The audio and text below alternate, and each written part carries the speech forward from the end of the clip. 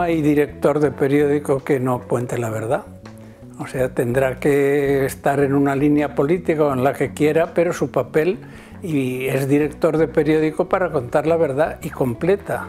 Lo de la censura hasta el año 66, eso fue horrendo. Y luego el año 66 marcó un punto de partida, es decir, que era la responsabilidad de cada director. Yo creo que es una equivocación que ha habido fuerte plantearlo como si el franquismo hubiese cortado radicalmente todo tipo de conexión entre los lectores y la verdad y la gente. Y eso no fue así. Entonces podía haber más o menos persecución, pero no era una cosa tan dramática. Que había temas de colisión, pues muy bien, pues esos temas pues ya los tenías que torear.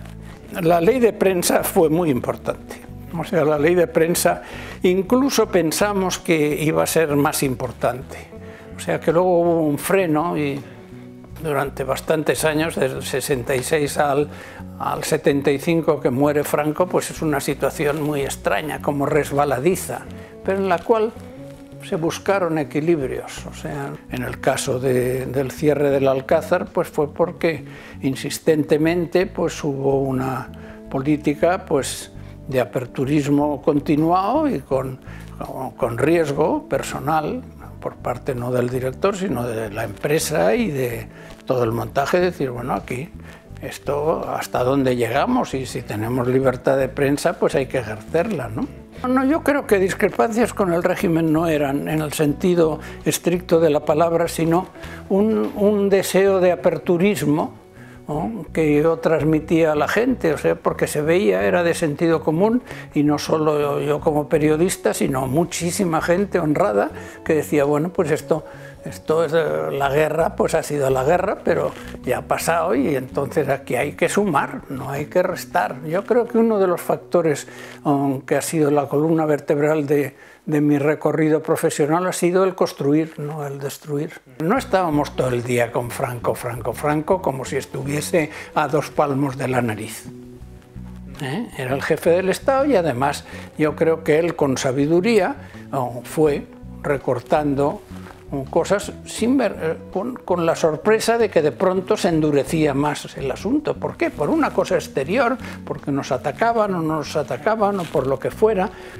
Consideraba que era un señor que había ganado la guerra, que, luego se prolongaba esa situación que era una situación un poco anómala y que intentábamos todos, sobre todo la gente más joven, pues que hubiese, que hubiese representación del pueblo en, las funciones de gobierno y que pues las cortes no fueran una mera cuestión automática, luchando por hacerlo bien. O sea que hay que respetar mucho a los políticos de entonces.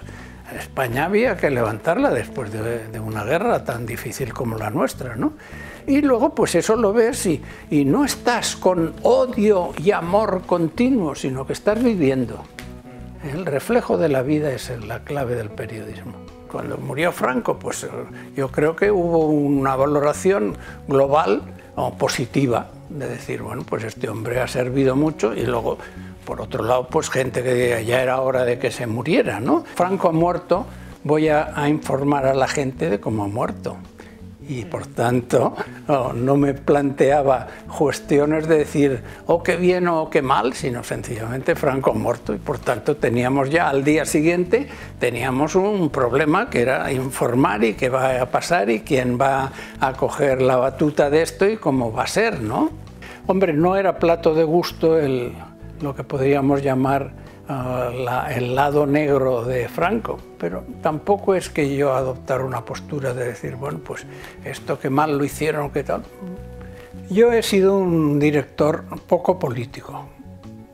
Es decir, yo he sido un buen técnico y un profesional de, de respuestas. Mi postura era no muchos amiguetes ni muchos correiveidiles España, y ahora mismo estamos en una situación curiosa, pues hay que sacarla adelante y entonces cada uno tenemos nuestras cosas, tenemos que convivir con gente que piensa distinto.